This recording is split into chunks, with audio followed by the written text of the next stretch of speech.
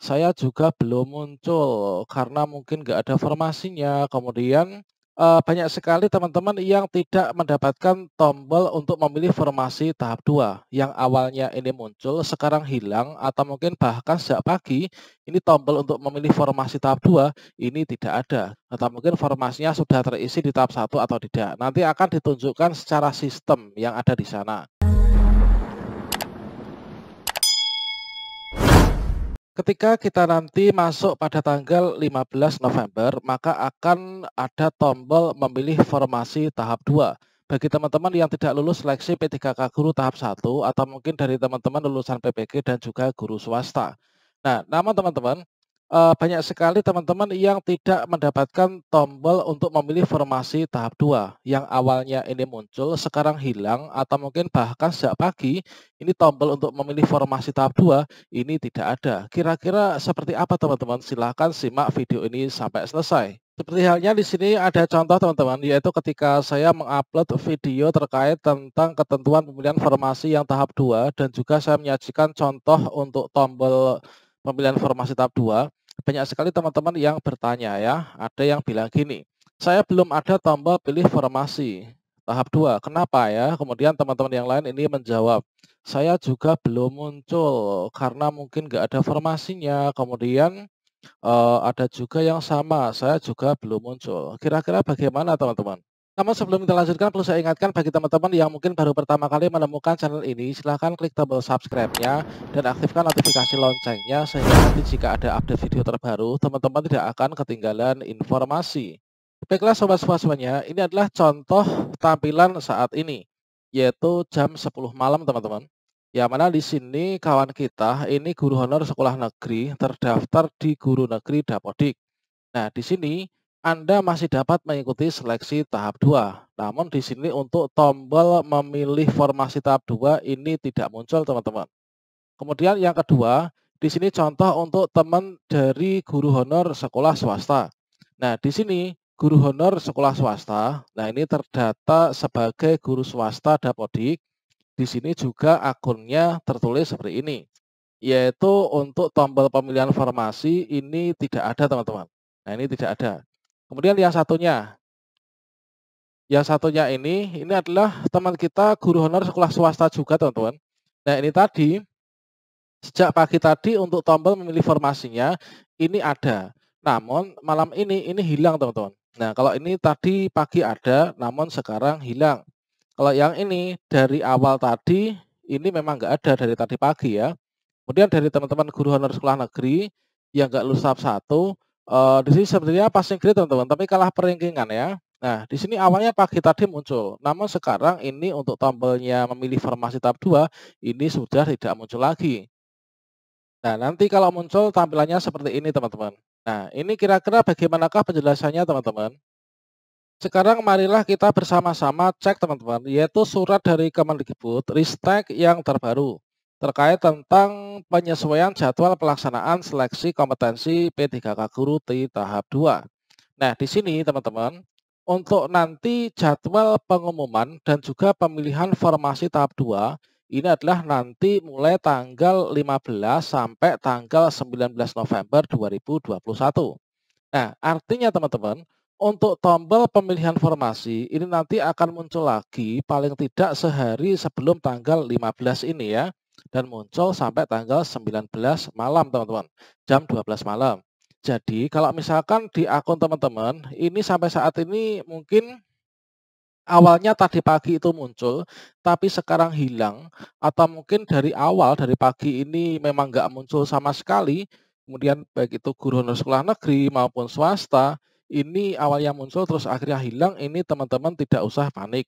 Dikarenakan memang saat ini belum jadwalnya untuk memilih formasi. Nah, sekarang ini kan baru tanggal 10 ya. Nanti untuk pengumuman dan pemilihan formasi tahap 2 ini adalah tanggal 15 sampai tanggal 19. Jadi kalau misalkan eh, hilang atau muncul, muncul lagi, hilang lagi atau dari awal nggak muncul, ini teman-teman tidak usah khawatir, nanti akan muncul pada tanggal ini teman-teman. Kemudian bagi teman-teman yang mungkin belum tahu eh, untuk isi dari tombol tersebut itu seperti apa, tampilannya seperti apa. Nah, Kira-kira gambarannya adalah seperti ini teman-teman. Yaitu ketika teman-teman itu login ke akun SSC ASN masing-masing, maka nanti teman-teman pada bagian halaman resume, yaitu di bagian bawahnya, maaf Anda nggak lolos atau mungkin teman-teman yang di guru swasta atau mungkin lulusan PPG, maka nanti uh, akan langsung ada tombol seperti ini, yaitu memilih formasi yang tahap 2. Nah, tombol memilih formasi yang tahap 2 ini nanti akan muncul ya ketika nanti mulai tanggal 15. Nah, kalau kita klik teman-teman, nah ini kalau misalkan kita klik, ini nanti tampilannya itu akan uh, bisa menampilkan menu pop-up teman-teman. Nah, menu pop-up-nya ini adalah seperti ini. Nah, ini teman-teman tampilannya nanti. Nah, ini tadi bisa diakses tapi ada tulisan kesalahan. Mohon maaf, seleksi belum dibuka. Nah, ini kita klik baiklah kan tadi. Nah, nanti akan ada tampilan seperti ini, teman-teman.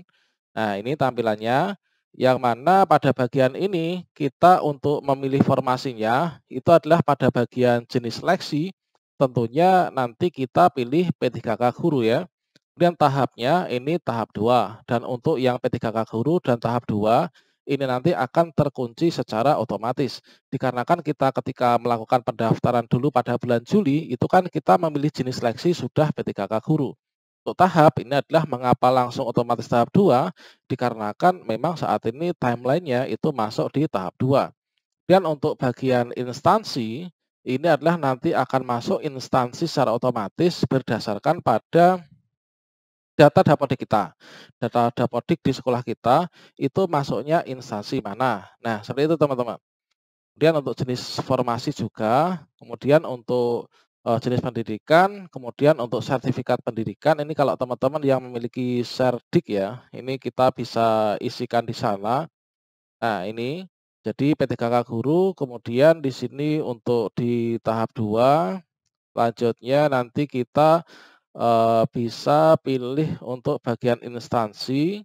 Kemudian di sini untuk data pendidikan kita, nanti kita untuk memasukkan data ini, kita sesuaikan dengan data pendidikan kita ketika kita dulu melakukan pendaftaran. Dan teman-teman tentunya juga uh, harus sesuai ya dengan ijazah yang diverifalkan di info GTK. Seperti itu teman-teman. Nah, ini tadi kita kalau misalkan pilih, ini belum bisa kita pilih teman-teman. Dikarenakan ini masih dalam tahap uji coba ya mungkin dari Pansel Nasana. Nah, setidaknya kita sudah tahu untuk tampilannya adalah nanti seperti ini. Nah, ini teman-teman untuk tampilannya. Kemudian kita masukkan di sini ada yaitu pendidikan, kemudian sertifikat pendidikan, kemudian kita masukkan nomor ijazah kita, Kemudian kita masukkan yaitu tahun lulus kita, kemudian tanggal ijazah, kemudian masukkan nama perguruan tinggi sesuai dengan ijazah. Jadi nama perguruan tingginya itu sesuai dengan ijazah itu apa. Nah ini, mungkin ada perguruan tinggi yang berganti nama mungkin ya. Nah ini perlu jadi catatan kita bersama ya terkait tentang hal itu. Jadi nanti kita sesuaikan dengan data yang sudah diverval untuk ijazah S1 atau D4-nya.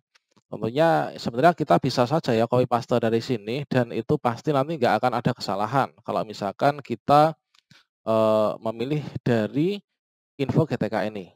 Nah ini, ini adalah karena tujuan dari info GTK itu adalah kemarin untuk verbal, itu adalah untuk persiapan pendaftaran P3K guru yang e, ini teman-teman tahun 2021. Nah, selanjutnya teman-teman, di sini kita perlu simak bersama terkait tentang uh, yaitu untuk panduan ini sebenarnya ada pada akun kita. Ini ada panduannya. Nah, ini yaitu petunjuk pemilihan formasi.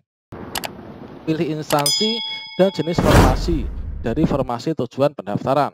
Kemudian kita klik tombol pilih kan nanti untuk melakukan pengecekan formasi serta syarat batas umur instansi. Jadi akan dicek informasinya itu ada atau tidak. Atau mungkin informasinya sudah terisi di tahap satu atau tidak. Nanti akan ditunjukkan secara sistem yang ada di sana. Kita pilih jabatan dan lokasi formasinya, tujuan pendaftaran. Terakhir kita masukkan kode CAPTCA yang ada di sini. Kemudian eh, yang terakhir ini kita klik tombol akhiri pendaftaran. Nah, itu teman-teman. Jadi kalau misalkan Dari awal teman-teman nggak muncul untuk tombol pemilihan formasi tahap 2 atau mungkin tadi muncul tapi sekarang hilang, ini teman-teman tidak usah khawatir. Memang saat ini belum masuk pada jadwalnya, nanti akan muncul tanggal 15 sampai 19 November 2021. Semoga untuk seleksi P3K Guru tahap 2 ini menjadi rezeki kita bersama ya, bagi teman-teman yang nggak lolos di tahap 1 kemarin.